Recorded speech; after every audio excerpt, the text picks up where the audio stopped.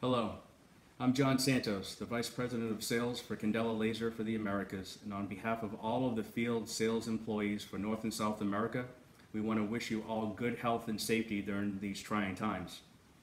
I'm wearing my Candela hat tonight with the flame because as it's represented a lot of pride for us in terms of innovative technology and research, I would have to say that during these trying times, we'd like it to represent so much more. We'd like it to represent light of hope for all of our employees, all of our customers, all the patients, and all the families involved.